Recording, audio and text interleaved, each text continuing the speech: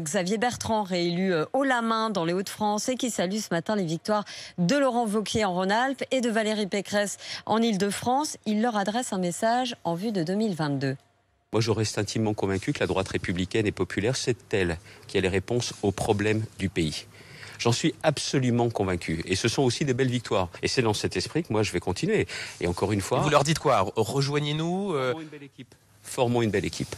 Quand tu as une grande et une belle équipe de France, je suis persuadé qu'elle l'emporte.